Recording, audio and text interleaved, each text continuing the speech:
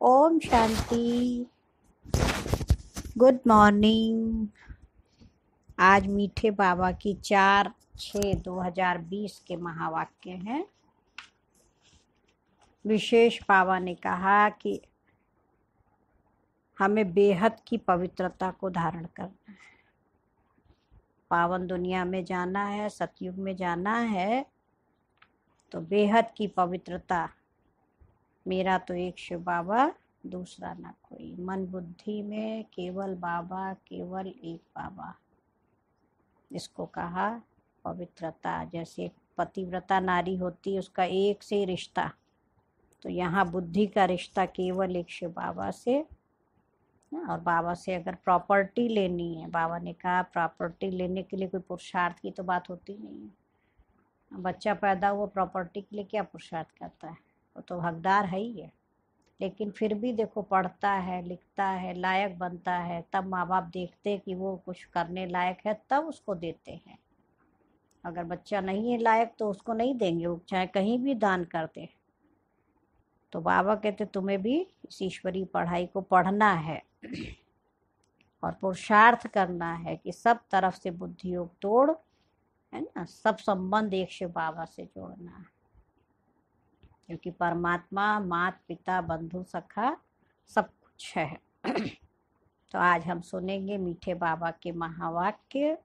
सतगुरु बाबा ने कहा, मीठे बच्चे, अभी तुम्हें बेहद की पवित्रता को धारण करना है। बेहद की पवित्रता अर्थात एक बाप के सिवाय और कोई याद ना आए। आज का प्रश्न है, बाप से वर्षा लेने के पहले का पुरुषार्थ और उसके बाद की स्थिति में क्या अंतर होता है? बाप से वर्षा लेने के पहले का पुरुषार्थ और लेने के बाद की स्थिति का क्या अंतर होता है?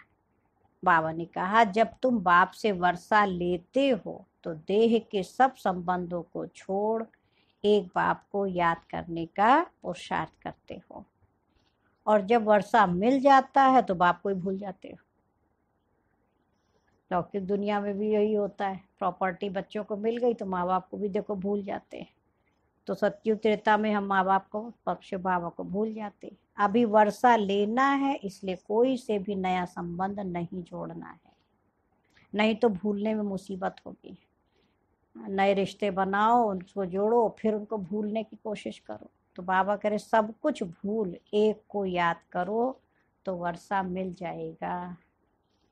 और आज का गीत है, ये वक्त जा रहा है, करना है जो भी कर ले, ये वक्त जा रहा है।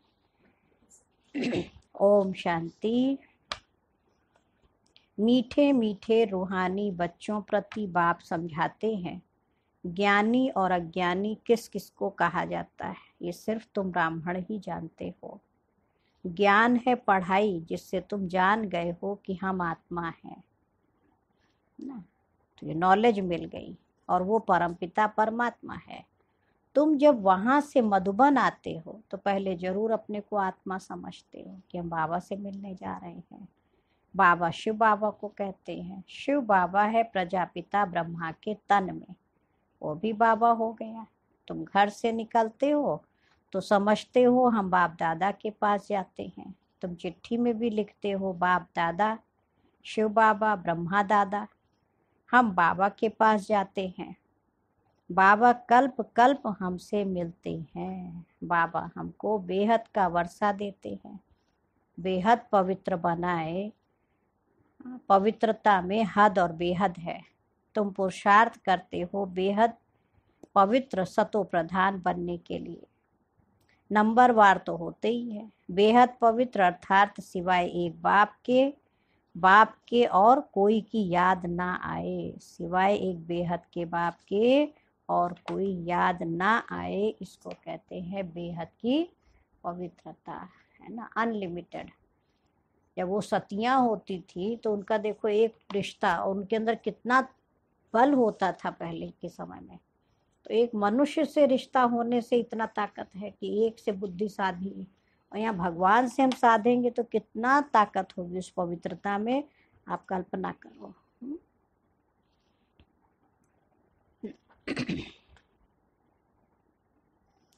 तो बाबा कह रहे, वो बाबा बहुत मीठा है ऊंचते ऊंच भगवान है और बेहद का बाप है, सभी का बाप है। तुम बच्चों ने ही तो पहचाना है।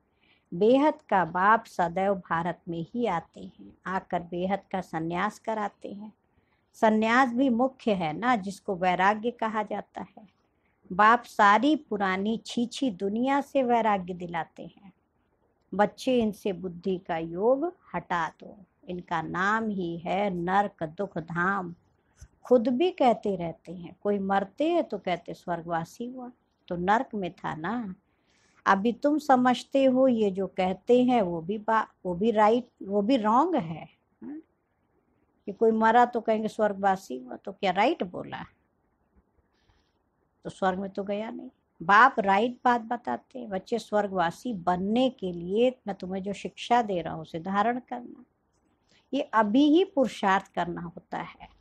स्वर्गवासी बनने के लिए भी सिवाय बाप के और कोई पुरुषार्थ करा न सके। सतयुग में जाने के लिए, बेहद पवित्र बनने के लिए, सिवाय शिव बाबा के कोई पुरुषार्थ करा न सके। तुम अभी पुरुषार्थ कर रहे हो, कौन सा? इक्कीस जन्मों के लिए स्वर्गवासी बनने का और बनाने वाला है बाप। उनको कहा ही जाता है हेवनली गॉड फादर खुद आकर कहते, बच्चों, हम पहले तुमको शांति धाम ले जाऊँगा।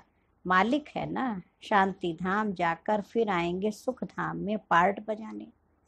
हम शांति धाम जाएँगे तो सब धर्म वाले शांति धाम जाएँगे। बुद्धि में ये सारा ड्रामा का चक्र रखना है। हम सब जाएँगे शांति धाम फिर हम ही पहले आकर बाप से वर्षा पाते हैं।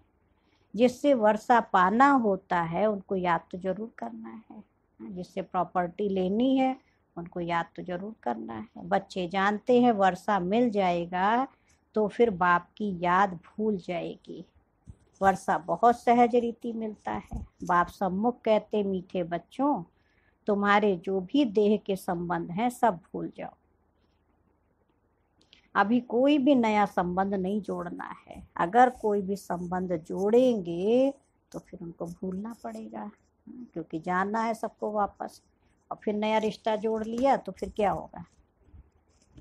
हाँ, तो भूलने की मेहनत करो। अब समझो बच्चा व बच्ची पैदा हुए तो वो भी मुसीबत हुई। एक्स्ट्रा याद बढ़ी ना और उसको फिर भूलना पड़ेगा। वाह कर सबको भूलना है।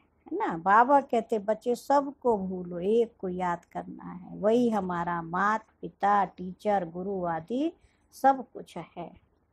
एक बाप के बच्चे हम भाई बहन हैं। चाचा, मामा आदि का कोई संबंध नहीं। ये एक ही समय है, जबकि भाई बहन का संबंध ही रहता है। ब्रह्मा के बच्चे, शिव बाबा के बच्चे भी हैं तो पोतरे पोतरियाँ भी हैं। ब्रह्मा के बच्चे, शिव बाबा के पोतरे पोतरियाँ उनके बच्चे भी हैं, क्योंकि शिव बाबा आत्मा का पिता है और ब्रह्मा के बच्चे, इसलिए पोत्रे पोत्रियाँ भी है। तो बाबा के लिए तो पक्का बुद्धि में याद आता है ना नंबरवार पुरुषार्थ अनुसार स्वदर्शन चक्रधारी तुम बच्चे चलते फिरते बनते हो, तुम बच्चे इस समय चैतन्य लाइट हाउस हो। क्या बाबा ने कह दिया? तुम बच्चों को चलते फिरते लाइट हाउस बनना है। तुम्हारी एक आँख में मुक्ति धाम, दूसरी आँख में जीवन मुक्ति धाम है। वह लाइट हाउस जड़ होते हैं और तुम बच्चे चैतन्य हो। तुम्हें ज्ञान का नेत्र मिला है। तुम ज्ञानवान बन, सबको रास्ता दिखाते हो। बाप भी तुम्हें पढ़ा रहे हैं। तुम जानते हो यह दुख धाम है। हम अभी संगम पर हैं। बाकी सारी दुनिया कलयुग में है। संगम पर बाप बच्चों के साथ बैठ बात करते हैं और बच्चे भी यहाँ आते हैं। कोई कोई लिखते हैं, बाबा फलाने को ले आवे अच्छा है, गुण उठाएगा, शायद तीर लग जाए तो बाबा को भी तरस पड़ता है। है, कहते बाबा धारणा तो कुछ नहीं, ज्ञान समझता नहीं है, लेकिन आएगा तो बाबा के घर में शायद तीर लग जाए तो बाबा को भी रहम आता अच्छा बच्चे को ले आओ। कि हो सकता कल्याण हो जाए। तुम बच्चे जानते हो, ये है पुरुषोत्तम संगम युग। इस समय ही तुम पुरुषोत्तम बनते हो। कलयुग में सब हैं कनिष्ठ पुरुष, जो उत्तम पुरुष लक्ष्मी नारायण को नमन करते हैं। सतयुग में कोई भी किसको नमन नहीं करते हैं। यहाँ की ये सब बातें वहाँ होती ही नहीं है। ये भी बाप समझाते हैं। अच्छी रीति बाप की याद में रह सर्विस करेंगे। तो आगे चल तुमको साक्षात्कार भी होते रहेंगे। तुम कोई की भी भक्ति आदि नहीं करते हो। बाबा हमको भक्त थोड़े बना रहा है कि झुकते रहो। बाबा हमें अपना बच्चा बना रहा है। बच्चा माने हकदार प्रॉपर्टी का अधिकारी और भक्त तो मांगते रहते तो बाबा कह रहे तुम किसी को तो वो भक्ति आदि नहीं करते हो। तुमको बाप सिर्फ़ पढ़ाते, घर बैठे आपे ही साक्षात्कार आदि होते रहते हैं। बहुतों को ब्रह्मा का साक्षात्कार होता है। उनके साक्षात्कार के लिए कोई पुरुषार्थ नहीं करते। बेहद का बाप इन द्वारा साक्षात्कार कराते हैं। भक्ति मार्ग में जो जिसमें जैसी भावना रखते हैं, उसका साक्षात्कार होता है। अभी तुम्हारी भावना सब, सबसे ऊंचते ऊंच बाप में है। तो बिगर मेहनत, बाबा क्या करे बिगर मेहनत बाप साक्षात्कार कराते रहते हैं। शुरू में कितना ध्यान में जाते थे, आप ही आपस में बैठ ध्यान में चले जाते थे। सब दादियाँ थी ना, छोटे थे बच्चे तो बैठते थे योग में और सब ट्रांस में चली जाए, कोई कोई अनुभव करके आती थी। सब बच्चे थे सतयुग सतयुग के नज़ारे देखते थे, श्री कृष्ण को देखती, दर्शन करती एक दो को देखते देखते चले जाते थे। जो कुछ भी पास्ट हुआ, बाबा करे लास्ट में फिर रिपीट करेंगे। हाँ दुनिया में हाहाकार होगा और बाबा अपने बच्चों को इन्हीं साक्षात्कार के द्वारा बहलाएगा और उसी में आत्मा शिव बाबा के पास चली भी जाएगी तो देखो, हँसते मुस्कुराते जाएगी। जैसे खेल हो गया, चलो बैकुंठ चले, एक दो को देखते चले जाते थे। तो बाबा अगर फिर वही रिपीट होगा। तुम जानते हो, हम ही इस धर्म के थे, सतयुग में पहले पहले ये धर्म है। इनसे, बाबा कह रहे इनमें बहुत सुख है है ना? सबसे ज़्यादा सुख किसमें है? देवी देवता धर्म में। फिर धीरे धीरे कलाएँ कम होती जाती हैं। जो सुख नए मकान में होता है, वो पुराने में नहीं है। थोड़े समय के बाद वो भपका कम हो जाता है। स्वर्ग और नर्क में तो बहुत फ़र्क है। कहाँ स्वर्ग, कहाँ ये नर्क तुम खुशी में रहते हो। ये भी जानते हो, बाप की याद भी पक्की ठहरेगी। हम आत्मा है, यही भूल जाते हैं। तो फिर दे अभिमान में आ जाते हैं। यहाँ बैठे हो तो भी कोशिश करके अपने को आत्मा निश्चय करो तो बाप की याद रहेगी। देह में आने से फिर देह के सब संबंध याद आ जाएँगे। एक ला है। है ना? जहाँ शरीर देखेंगे तो फिर उसके सारे रिश्ते, नाते, उसकी कमी, कमज़ोरी, उसकी अच्छाई, बुराई सब याद आएगी। तो बाबा कह रहे, आँखों से भल किसको भी देखो, घूमो, फिरो हाँ? सिर्फ़ आत्मा को, बाबा को याद करना है। ये मेहनत करनी है? हम्म?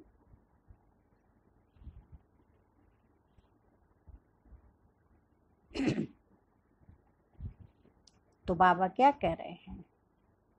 कहाँ स्वर्ग, कहाँ ये नर तुम खुशी में रहते हो, ये भी जानते हो, बाप की याद भी पक्की ठहरेगी। हम आत्मा हैं, यही भूल जाते तो फिर देह अभिमान में आ जाते यहाँ बैठे हो तो भी कोशिश करके अपने को आत्मा निश्चय करो तो बाप की याद भी रहेगी। देह में आने से फिर देह के संबंध याद आ जाते हैं। ये एक लॉ है। तुम गाते भी हो, मेरा तो एक शिव बाबा, दूसरा ना कोई बाबा। हम बलिहार जाएँगे। वो अभी समय है, एक को ही याद करना है। बाबा कह रहे शरीर निर्वाह अर्थ कर्म भी करना है, परंतु हाथों से काम करते दिल बाप की याद में रहे। आत्मा को अपने माशूक को ही याद करना है। कोई कि सक, किसी सखी से प्रीत हो जाती है तो फिर उनकी याद ठहर जाती है। फिर वो रग टूटने में बड़ी मुश्किल होती है। पूछते बाबा ये क्या है? तो बाबा कहते अरे तुम नाम रूप में क्यों फंसते हो? एक तो तुम दे अभिमानी बनते हो और दूसरा फिर तुम्हारा कोई पास्ट का हिसाब किताब है। तो ना वो धोखा देता है। पिछला हिसाब किताब है आत्मा से लगन लग जाती है। बाबा कहते इन आँखों से जो कुछ देखते हो उनमें तुम्हारी बुद्धि ना जाए। तुम्हारी बुद्धि में ये याद रहे कि हमको शिव बाबा पढ़ाते हैं। ऐसे बहुत बच्चे हैं जो यहाँ बैठे हैं, परंतु बाप को कभी याद भी नहीं करते हैं। देखो, क्या रिज़ल्ट बाबा ने सुना दी।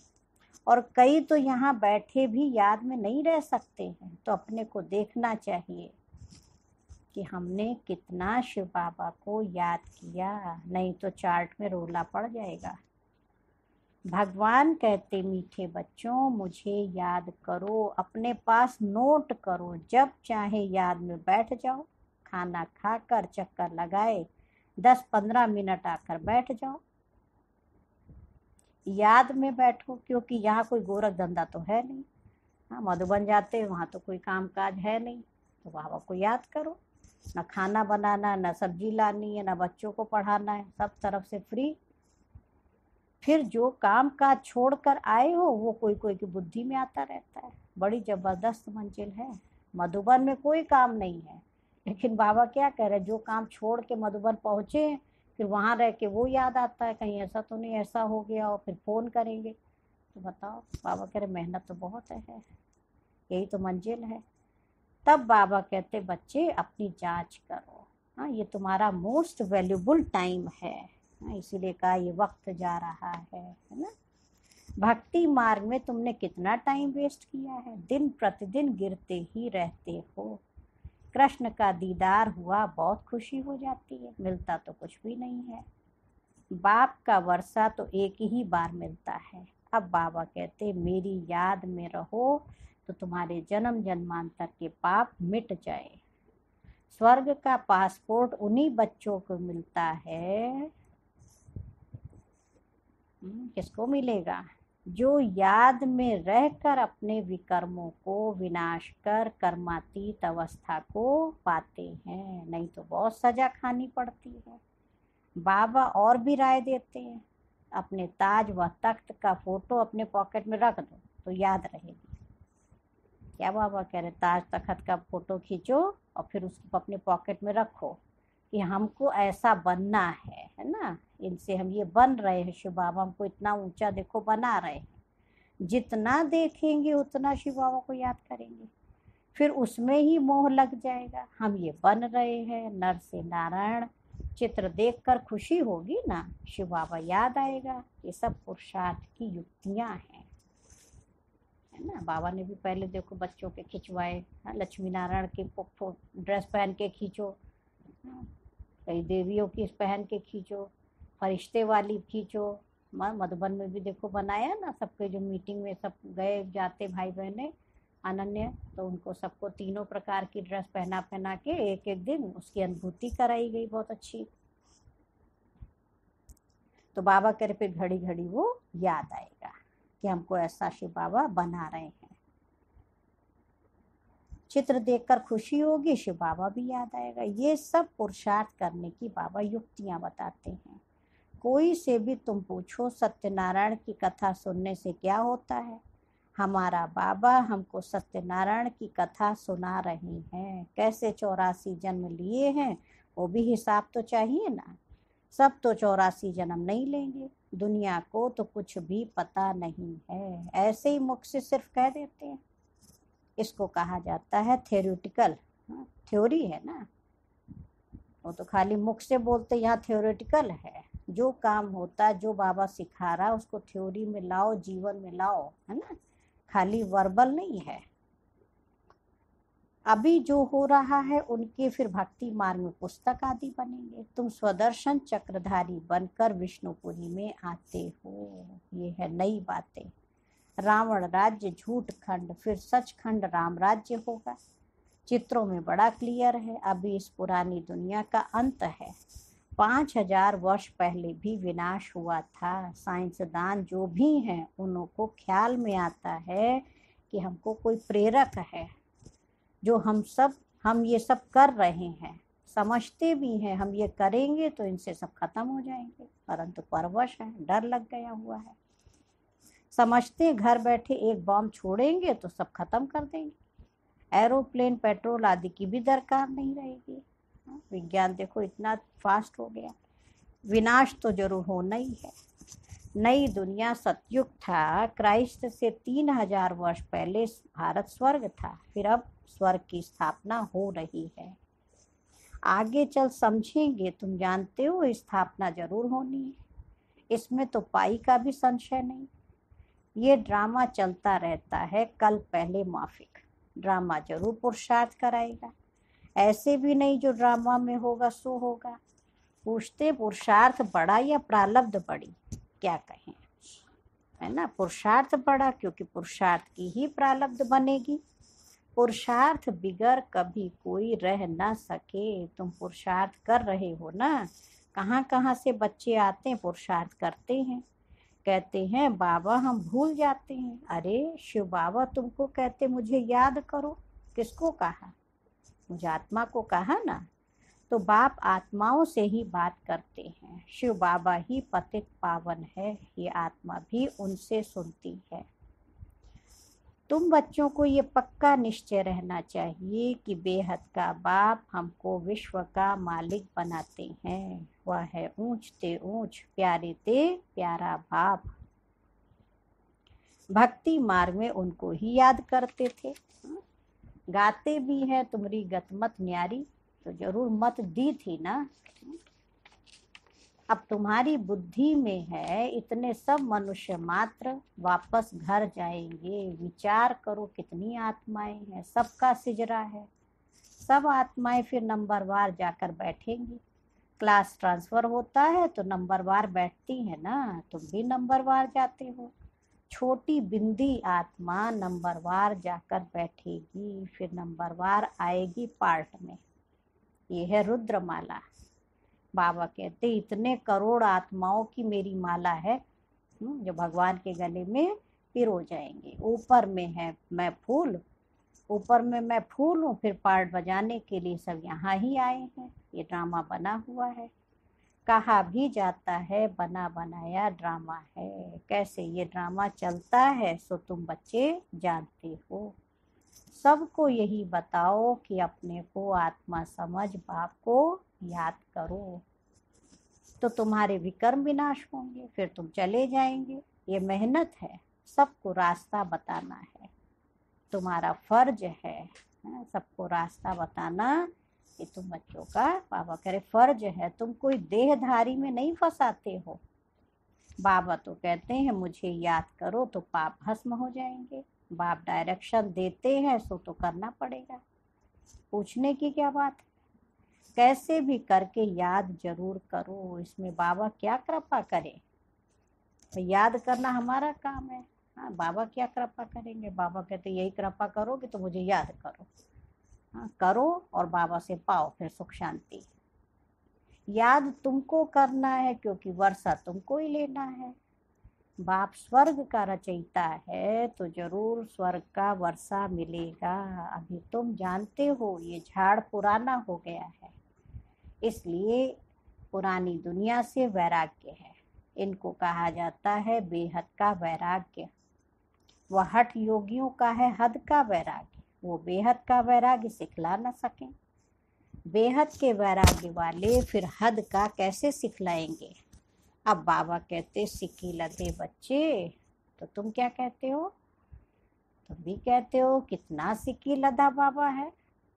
तिरसठ जन्म बाप को याद किया है। बस हमारा तो एक बाप, दूसरा ना कोई। ये पक्का करना इसी को कहा, बेहद की पवित्रता। अच्छा मीठे मीठे सिक्की लधे बच्चों प्रति मात पिता बाप दादा का याद, प्यार और गुड मॉर्निंग रूहानी बाप की रूहानी बच्चों को नमस्ते। हम रूहानी बच्चों की मात पिता बाप दादा को याद, प्यार, नमस्ते और गुड मॉर्निंग। शुक्रिया बाबा, शुक्रिया। बेहद दिल से शुक्रिया। आज धारणा के लिए मुरली का मुख्य सार है, फ़र्स्ट पॉइंट है स्वर्ग में जाने का पासपोर्ट लेने के लिए बाप की याद से अपने विकर्मों को विनाश कर कर्मातीत अवस्था बनानी है। सजाओं से बचने का पुरुषार्थ करना है। सेकेंड पॉइंट है, ज्ञानवान बन सबको रास्ता बताना है। चैतन्य लाइट हाउस बनना है। एक आँख में शांति धाम, दूसरी आँख में सुख धाम रहे। इस दुख धाम को भूल जाना है। और आज मीठे बाबा का वरदान है अपने डबल लाइट स्वरूप द्वारा आने वाले विघ्नों को पार करने वाले तीव्र पुरुषार्थी भव। आने वाले विघ्नों में थकने व दिल शिकस्त होने के बजाय सेकंड में स्वयं के आत्मिक ज्योति स्वरूप और निमित्त भाव के डबल लाइट स्वरूप द्वारा सेकंड में हाई जंप दो। समझ में आया? बाबा कह रहे, आने वाले विघ्नों में थकना नहीं है, दिल शिकस्त नहीं होना, बल्कि एक सेकंड में अपने आत्मिक स्वरूप, ज्योति स्वरूप है ना? उसमें टिक जाओ। और दूसरा, निमित्त भाव। मैं आत्मा निमित्त हूँ करावन हार शिव बाबा है। तो ये दो चीज़ों से हम हाई जंप दे सकते हैं। विघ्नों रूपी पत्थर को तोड़ने में समय नहीं गंवाओ। जंप लगाओ। जहाँ कूद सकते तो उसको तोड़ के आगे रास्ता बनाने से क्या फ़ायदा है? और सेकंड में पार हो जाओ। थोड़ी सी विस्मृति के कारण सहज मार्ग को मुश्किल नहीं बनाओ। अपने जीवन की भविष्य श्रेष्ठ मंजिल को स्पष्ट देखते हुए तीव्र पुरुषार्थी बनो।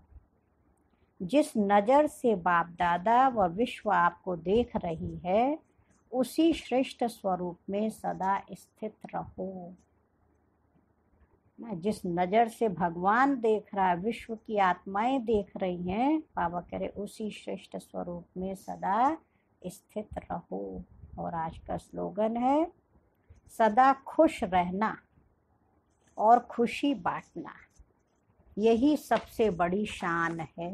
हम्म, परेशान नहीं होना है तो सदा खुश रहो और खुशी बांटो।